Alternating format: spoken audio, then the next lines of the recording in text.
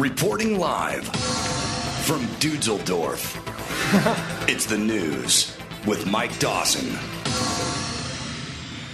Well, former undisputed heavyweight champion Mike Tyson is making a comeback. Tyson, age 54, is going to fight Roy Jones Jr. in an eight round exhibition fight September 12th in Carson, California.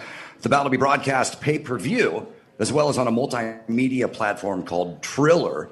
Roy Jones uh, Tyson, Ju- Roy Jones Jr. Has, is one most one of the most athletic, best fighters ever. He was a light heavyweight.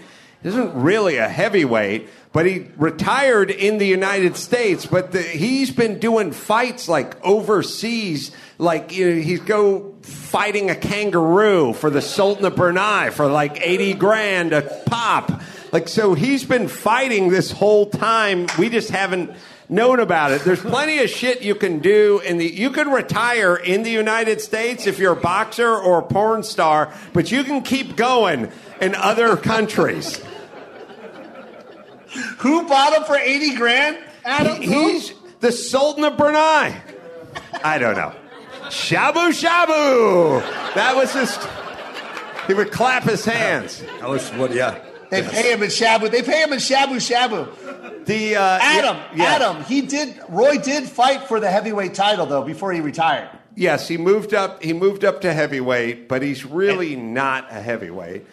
No, and, not at all. Ty- and Tyson looks super sharp. I mean, did you see any of that footage Yep. of him like just hitting the focus pads and stuff? So I don't know Amazing. how that's going to work for uh, for Roy. But uh, oh, you know what's a funny thing? I uh, I interviewed Mike Tyson a few years ago for this podcast, and I went to his house. He's in Vegas, by the way. He's in like Henderson or somewhere. Uh, so he may be a neighbor.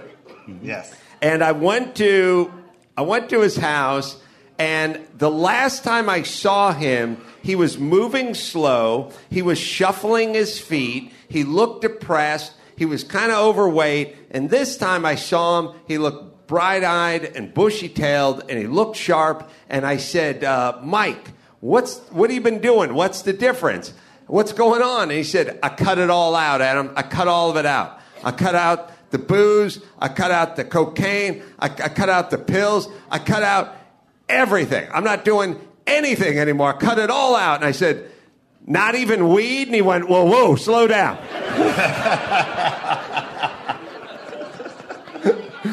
Well, regarding the safety of the event, Tyson says that we're both accomplished fighters. We know how to take care of ourselves. It's an eight round exhibition. And listen, we'll be all right. Trust me, we can take care of ourselves.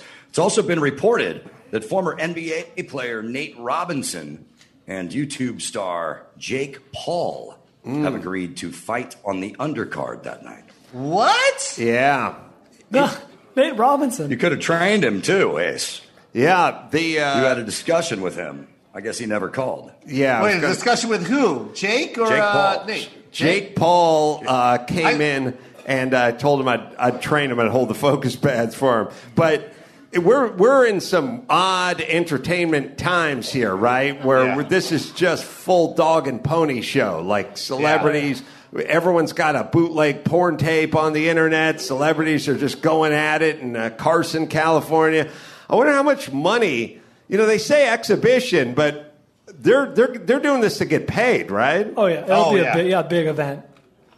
So, and For then sure will what do you think? The, what is the price for the pay per view on this event? Is this nineteen ninety nine? Is this twenty nine ninety nine? Like what? What is this? Because like a you like a legitimate UFC title fight, you know, with a good undercard is 59, 69 bucks, right? What is what is this one? I was going to guess fifty I'm because looking. these these are these are more notable names uh, to the general public than even the the, the best UFC fighters. Yeah. Nate All the Robinson? news stories are saying. No, I'm talking All about Tyson stories. and Roy Jones. Oh yeah, that's Yeah. true. All the stories are just saying that it will cost a fee. No one is saying how much it will cost. Roy But it's Tyson's Jo- big comeback. They can go as high as fifty dollars, don't you think? Oh, yeah, yeah. Roy Jones I- I'd pay to is such it. a badass that Yeah, when when Roy Jones was in his prime, before a light heavyweight, I think it may have been a title fight. he played in an amateur basketball, Basketball game. He actually played a game of hoops the Yep. afternoon of the fight that was that night and still beat the guy's ass. Yeah, for a semi-pro team, I think that he owned or something like that in Florida. Yeah, it's easier to get playing time when you own the team. Yeah. He also And and, Yeah. and here's another one, Adam. Roy Jones one time had a rap album and he walked out to his own music rapping, holding the microphone. He was actually It's good. rapping and, and he walked in and then fought. He also breeds fighting cocks. He does Cocks. cock fighting. Yep. He does as, cockfighting. as well. So, uh, although I don't know why we should be surprised that a guy who fights human beings for a living likes to watch chickens fight on his downtime, right? Mike Tyson loves uh, raising pigeons, so I think I guess they Ooh. both have that thing. There's your undercard. There's your undercard. One of Mike's, pigeons versus the cocks. one of Mike's pigeons against uh, Roy's cock.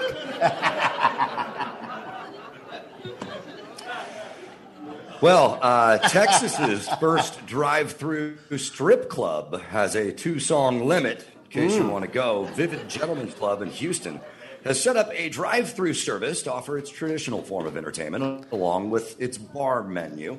The venue installed a massive white tent outside. There are steel barriers separating drivers and dancers, neon lights, and a PA system. So I imagine the strip club DJ is working as well. Some of the performers wear masks, some don't, but they're all socially distanced from the cars. Drivers leave tips on the pavement. Now, according to Texas law, uh, restaurants can open at half capacity and bars can make to go sales only.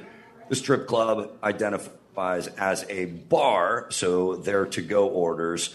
So people drive in, place your order, you sit in the car, the girls dance for two songs, you throw, throw some money at them, and then they kick you out to wait for your food. The money doesn't make much.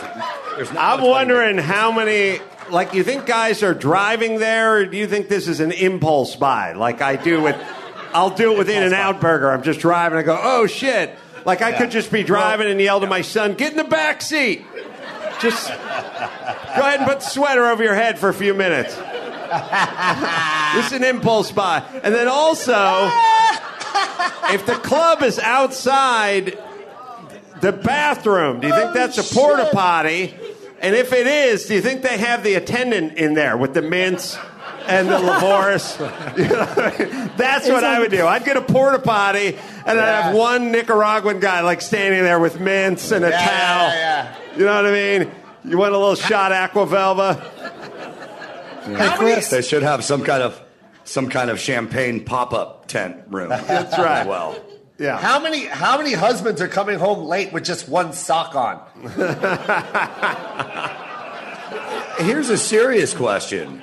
Can you be infected by the glitter at this distance? That's- Are you going to come home with glitter on you? Maybe this is the perfect time. Hey, honey, I'm going to go pick up dinner. Mm-hmm. Oh. Yeah. Yeah, Yeah. yeah, yeah, yeah. Yeah. In and Out has glitter burgers, motherfucker. Chris, put that picture back up real quick. Adam, what is up with those crazy rims? I was looking at both I of saw them. that. it's fucking Mad Max shit. Yeah. Yeah, that's 007 shit. It's like Jesus Christ. this is uh I have I have four thousand dollars worth of Honda Civic and thirteen thousand dollars worth of rims. hey, hey, I'm not going to touch your vagina, but my rims will. I don't know. The guy, the rims on this car look like the uh, mouth from uh, Alien, where the Yeah. uh, The, the face hugger. yeah, the face hugger. Yeah, I don't, I don't, or I don't know what this, I don't know what this is. And the car in front of it has it too, and the trunk's open. So uh, I'm not, I'm not sure how that works. What And- are these Autobots? is that Optimus Prime's penis? What is that?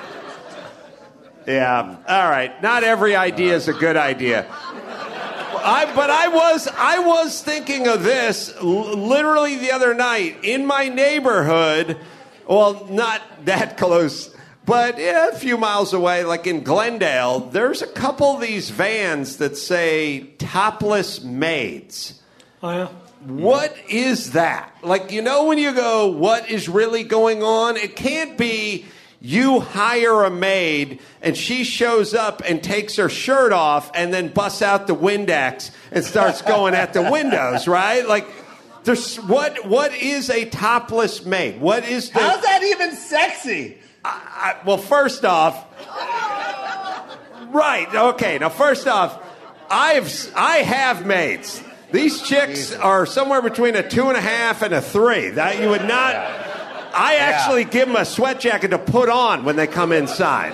Yeah, how, how, how bad are your tits when the guy that's pu- pu- renting it goes, hey, I think you need a broom as well? All right. So, what is this? Six, what six, is the huge. scam? How does it? How does it work? was- does I anyone was listening know? to a podcast uh, from someone t- describing they actually hired the topless maids, Mm-hmm. and uh, as you can imagine, you don't get a lot for your money. Yes, uh, of course they're topless. Uh, you're not allowed to touch them, of course. You're not allowed to talk to them. I don't think they will only do lighthouse work like dusting and like you know polishing the table or whatever. like Mm. What not, the fuck is they- that? They're kind of there for, and it's like 45 minutes. Like they're there, they dust a little bit, and then they're No, no, no, no. You're doing my fucking laundry and you're making me something to eat. That's right. Yeah. And don't forget the toilet. Yeah. Yeah. Get down there. And You uh, make the Down toilet? there. yeah, and I'll I'll be doing some polishing, but it won't be the Right. the curtain rod. oh, I made a mess here on the hardwood floor, sweetie. Oh, Jesus, Adams. Get out the Swiffer. Oh, my God. Sorry, shabu shabu. That's what I yell when I'm polishing my joint with the topless maid. Yeah. Clean up, aisle me. Sorry, go ahead, Dawson. Well, Go Sports, the NFL Washington cha- franchise, formerly known as the Washington Redskins, is officially going to change their name to the Washington Football Team. Effective they're immediately, not. they'll use, Yes. they'll use Yes. the name Football Team. Are for you this season, fucking kidding me? While they try to figure out their new name and how to brand it, the team hopes to finish retiring the Redskins branding by their home opener against the Eagles on September 13th.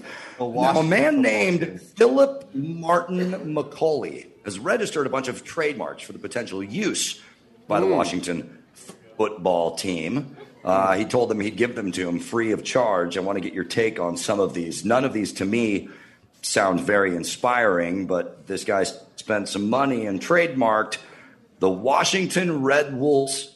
Red what? Wolves? Washington Wolves. Wolves. All right. Well, first off, calling something a football team, it sounds like when like when Oliver Stone would do a football movie, but he couldn't clear the Yeah, the names of the teams in the NFL, Yeah. so he just called Yeah. like the Memphis Hustlers. He'd The make up a bunch of teams. Yeah. You'd say Washington football team because you didn't buy the rights to say Redskins. So it's way too generic. So you got you got Red Wolves, right?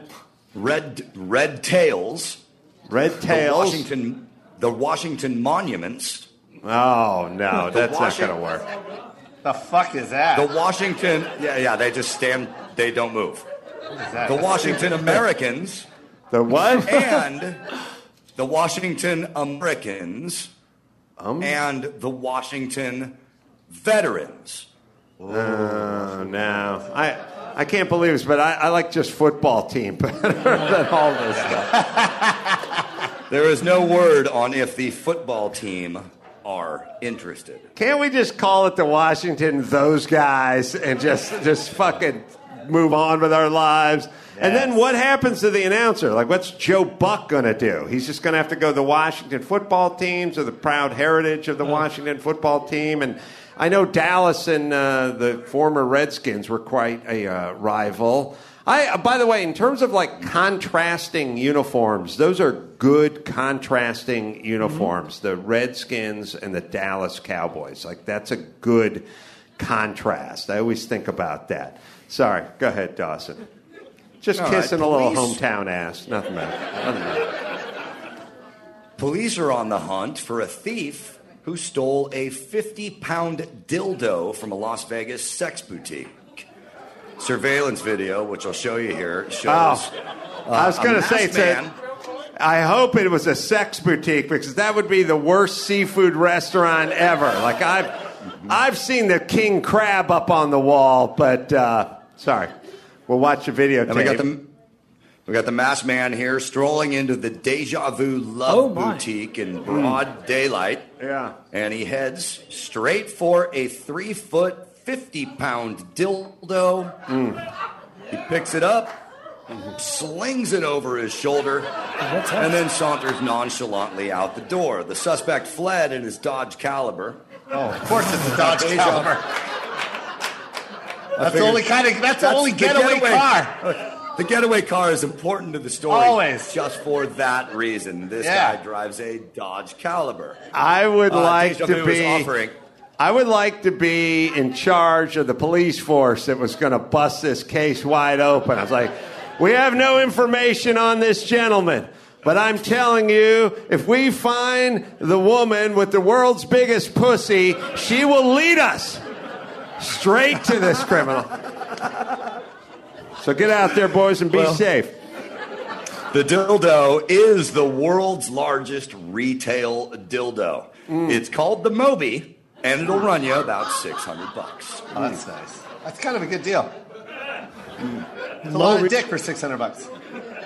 I uh, I was kind of hoping some good Samaritan tried to wrestle it away from him in the parking lot, and he fought him off with the dildo, and this guy's using a hula hoop for a cock ring, and I got all sorts of things going through my head.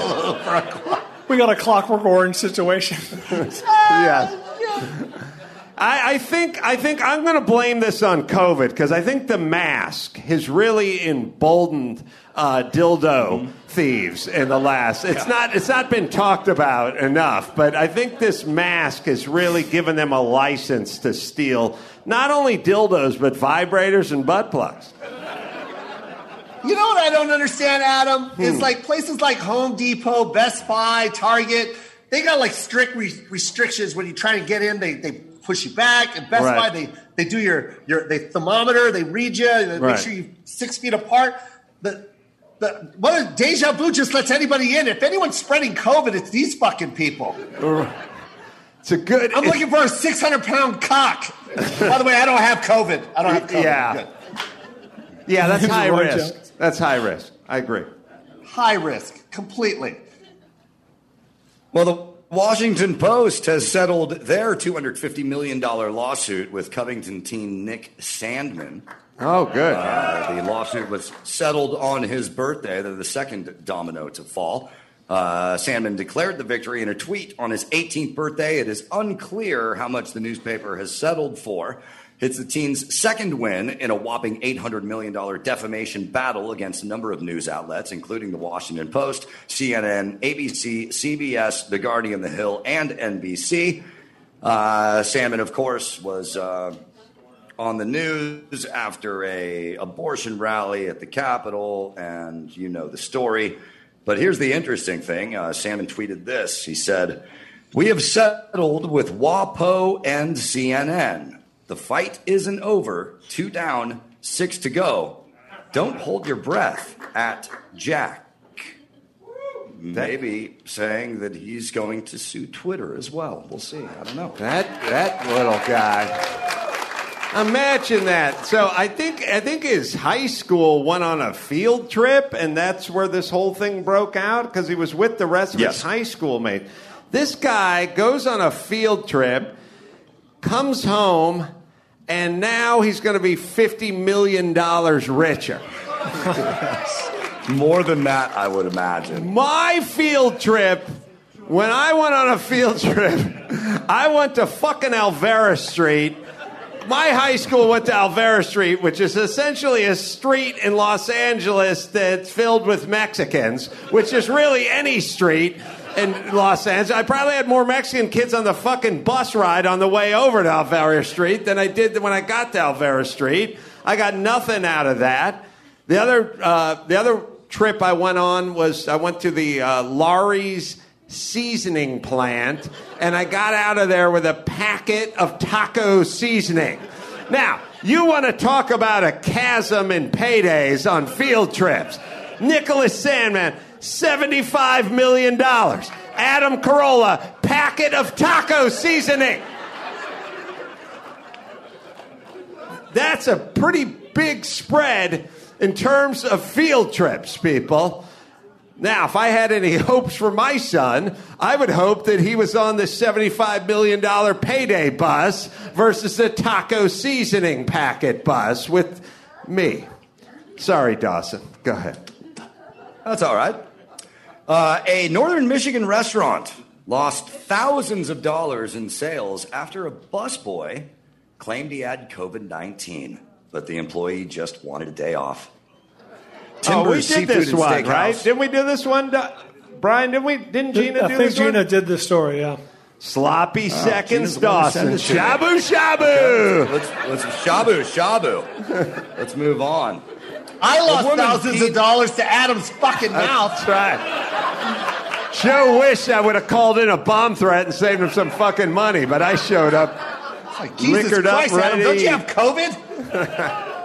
Well, speaking of COVID, in South Africa, there was a truck loaded with several 40 liter containers full of live COVID 19 samples. Guess what happened? It was hijacked by armed men outside a clinic. The vehicle was abandoned not far from the scene and has since been recovered, but the virus samples are still missing. Police have warned the Oh, this to is the beginning well of a Vin clear of the Diesel movie, right? Is Matt Damon in this headline? Yeah. That's the part where they come up to Vin's cabin. He's like, You know, I'm retired. We need you back for one more. Hold on, let me look at my dog. Okay, one more mission. But they're going to frame him. That's how it works every time. But don't worry, he's coming after them. Sorry, Dawson. Oh, Anyone ever right, asked so- you to do one more thing? If they are after you, I don't care. It always goes south. If they ask you to come out of retirement for one more Yeah. job, don't do it. I don't, Don't care. do it. Hey, I don't give you're a fucking pool man. If somebody knocks on your door, it's like, just skim one more pool. No, no, Done. I'm done. don't do it. You saw what happened to Lance Armstrong. Don't fucking Yeah. do it, man. I don't care if you do um, if you do copier printer uh, repair. I don't care what your job is. I don't care. You cannot come out of retirement for one more. I can come out for two jobs, but not one more. That's how it works.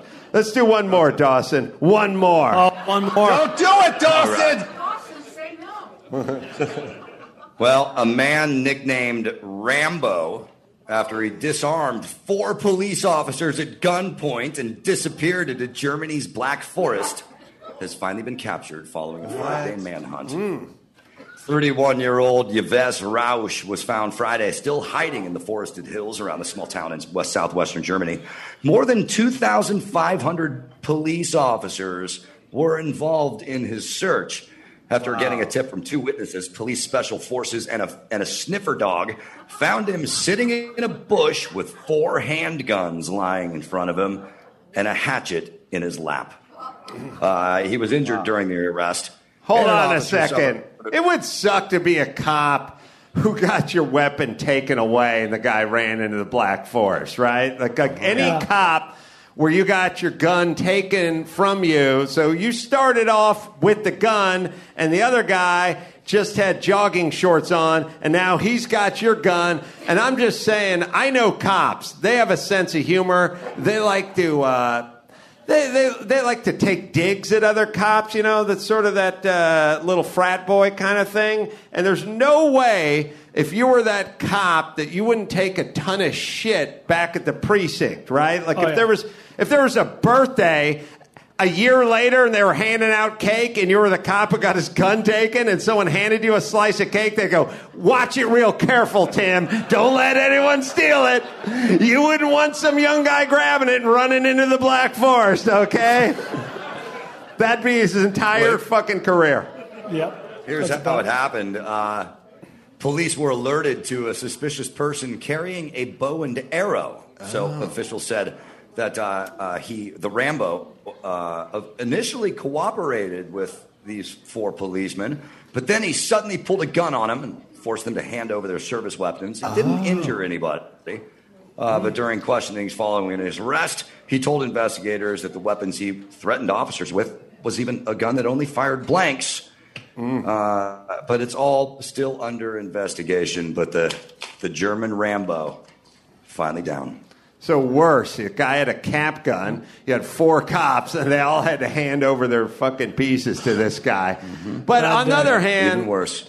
if you're running around with a bow and arrow, don't we get to just shoot you? Yeah. Like, is that kind of on you? Yeah. I just feel like if you're going to leave the house with a bow and arrow, Yeah. you may get shot, and again, that is kind of going to be on on you. I don't feel Yeah. like uh, I don't feel like we need to hit you with the non-lethal stuff, or we need to talk it out of your hands. If you got a bow and arrow, and especially a crossbow, and especially one of those old timey ones with a crank on it, if you got the fucking bow and arrow with the crank on it, we can shoot you from inside the cop car. Yeah. They don't even have to get out.